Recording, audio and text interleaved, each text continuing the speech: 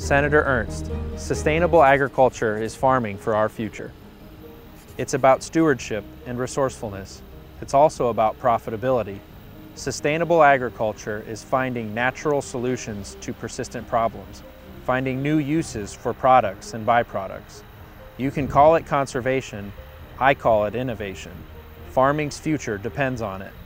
And Senator Ernst, Iowa's farmers are depending on you for your support.